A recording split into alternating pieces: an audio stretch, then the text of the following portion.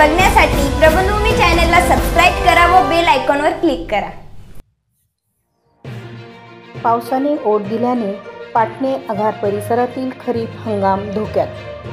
पाटणे आघार परिसरात यावर्षी वरुणराजाने पाठ फिरवल्याने जून जुलै या दोन महिन्यात अतिशय अल्पसा पाऊस पडला.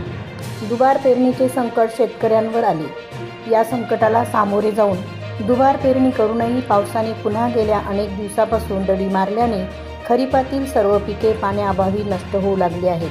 त्यातच लष्करी आळीने मका पिकाचे मोठ्या प्रमाणात नुकसान केले आहे. मागील वर्षी वरुणराजा भरभरून कोसळला आणि दोन महिन्यातच परसूल धरण भरून ओसांडून वाहू लागले. तसेच पाटणे गावाजवळून वाहणारी परसूल नदी व गिरणा नदी दुथडी वाहत होती. यावर्षी पिकाच्या वाढीसाठी सुद्धा पाऊस पडत नाही. हजारो रुपये खर्च करून खरीपाची मशागत बियाणे रासायनिक औषधांची फवारणी केली. एवढं करूनही शेतातील पिकांची अवस्था अत्यंत बिकट आहे. हे सर्व बघून बळीराजा धास्तावला आहे. संपूर्ण खरीप हंगामच पावसाअभावी वाया जाण्याची शक्यता निर्माण झाल्याने शेतकरी हतबल झाला आहे. खरीपाच्या उत्पादनाची शेतकऱ्यांना अपेक्षा असते मात्र यावर्षी पावसाचे कोणतेच चिन्ह दिसत नाही.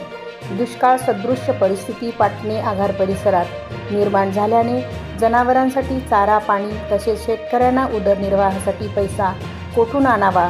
आदी समस्या निर्माण होण्याची दाट शक्यता दिसत असल्याने शेतकरी धास्तावला आहे. एकूणच पावसाअभावी पाटणे परिसरातील खरीप हंगाम धोक्यात आल्याने शेतकऱ्यांची चिंता वाढीस लागली आहे. राजेश धनवट प्रबंधभूमी महाराष्ट्र न्यूज पाटणे. ताज्या